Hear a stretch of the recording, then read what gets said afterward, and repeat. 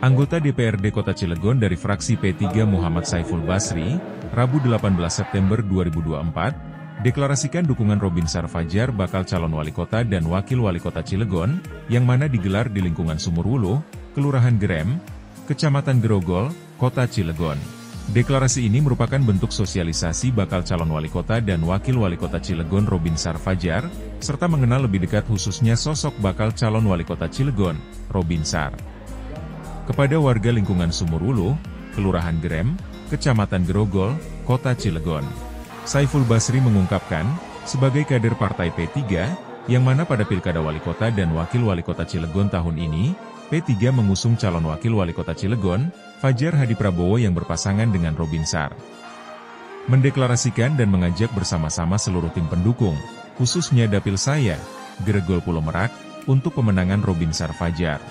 Hadir dalam acara deklarasi dukungan, Ketua DPC P3 Kota Cilegon, Haji Sahruji, SH, beserta jajaran pengurus DPC P3 Kota Cilegon, bakal calon wali kota Cilegon, Robin Sar, tim pemenangan Robin Sar Fajar, Endang Effendi, anggota DPRD Kota Cilegon Partai P3, Muhammad Saiful Basri, dan puluhan relawan, serta ratusan warga dari lingkungan Sumurwuluh, Gerem, Kecamatan Grogol, Kota Cilegon. Di sela acara dukungan deklarasi, bakal wali kota Robinsar bersama Ketua DPC P3 Kota Cilegon, Haji Sahruji, melakukan pengundian door prize untuk empat orang pemenang dengan hadiah utama paket umroh ke Tanah Suci Mekah, yang mana program bantuan paket umroh tersebut merupakan program dari Partai P3, bersama bakal calon wakil wali kota Cilegon, Fajar Hadi Prabowo untuk masyarakat Grogol Pulau Merak. Berikut laporan kontributor Liputan Lugas TV.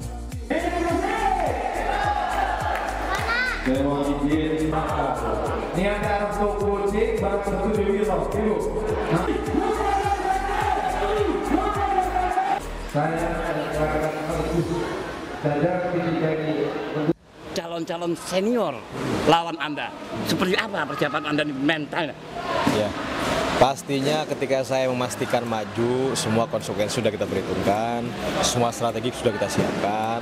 Pada prinsipnya pemenangan ada di masyarakat. Tentunya yang menjadi persoalan kami atau fokus kami adalah bagaimana bisa meyakinkan masyarakat bahwa Robin Sarfajar ke depan bisa membuat cerita lebih baik. Bang Robin, Hmm.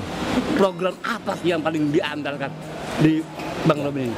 Eh, memang pada prinsipnya apa yang menjadi program kami adalah memang apa yang menjadi kebutuhan masyarakat. Ya. Memang kalau kita bicara kebutuhan atau permasalahan masyarakat di Cilegon hari ini memang sangat complicated lah kurang lebih gitu. Cuman memang banyak eh, terhadap tiga poin mungkin yang akan kami lebih Ya. perhatikan. Pertama dalam rangka pengangguran, mengurangi pengangguran.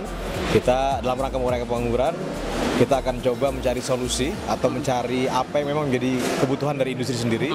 Makanya kami ke depan akan melakukan program beasiswa sarjana sepenuhnya. Yang itu yang pertama supaya eh, apa namanya secara pendidikan klasifikasi masuk Putra Putri Cilegon.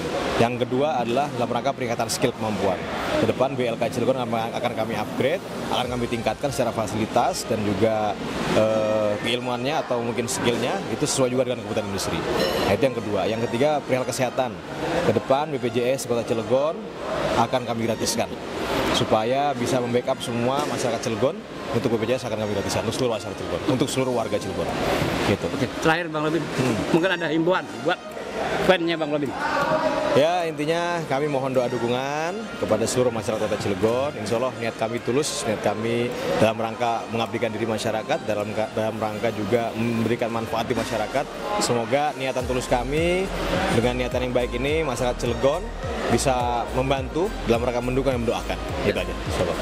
Ya, Yuk, selamat malam Kak. selamat malam. Kang Dewan sekarang nih. Bisa dijelaskan nih tadi acara. Ya, eh, terima kasih. Hari ini ada acara deklarasi dukungan dari saya sebagai salah satu kader dari Partai P3 dan di pilkada ini P- P3 mengusung calon wakil dan berpasangan dengan Bapak Robinsar dari Partai Golkar. Jadi hari ini malam ini saya mendeklarasikan untuk seluruh tim saya yang kemarin sudah mendukung saya untuk memenangkan Robin Fajar. Bang Dewan, strategi apa untuk menghadapi tentunya musuh daripada jagonya Kang Dewan ini senior-senior. Seperti apa Kang Dewan? Iya, terima kasih. Kalau strategi sih saya tidak bisa menyampaikan ya, Eh, akan tetapi dengan langkah-langkah dari pasangan, kedua pasangan dari Bapak Robin dan Bapak Fajar, eh, keduanya itu aktif sosialisasi, turun langsung ke masyarakat supaya eh, masyarakat juga tahu tentang sosok eh, dari pasangan Bapak Robin dan Fajar. Jadi mereka bisa komunikasi langsung, menanyakan tentang visi dan misi, membangun membangun kota Cilegon itu ke depannya seperti apa. Oke, maksud saya begini Kang suara Anda banyak. Bisa mempertahankan suara nanti di pilkada ini atau bahkan nambah? Kalau saya optimis bertambah. Optimis. Iya, karena eh, pileg dengan pilkada tentunya sangat berbeda. Jadi dari tim-tim saya yang selama ini saya bina, saya rawat, itu saya minta untuk sama-sama berjuang, mengembangkan dan mengajak semua masyarakat khususnya di dapil saya di dapil 4 Kecamatan Grogol dan Pulau Merak untuk bersama-sama memperjuangkan memenangkan Bapak Robin dan Bapak Fajar. Terakhir, singkatnya, tetap PD walaupun menghadapi senior-senior politik kubu sebelah. Tetap PD. Tetap PD. Ya. Terakhir, pesannya buat fans-fans Anda di pilkada ini.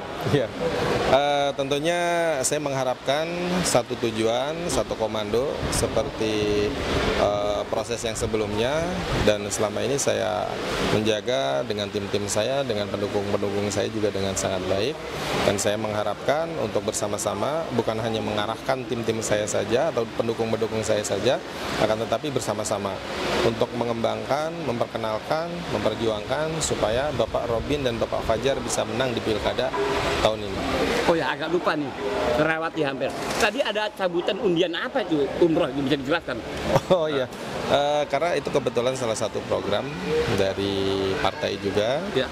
dari calon wakil yang kita usung juga, eh, sesuai dengan logo dari partai kami yaitu Ka'bah, sehingga kami mempunyai program untuk masyarakat khususnya eh, undian umroh. Dan mudah-mudahan undian umroh ini bisa bermanfaat untuk masyarakat khususnya yang sudah terpilih. Jadi empat peserta tadi Ya, dapat. ah, Pak. Terima kasih.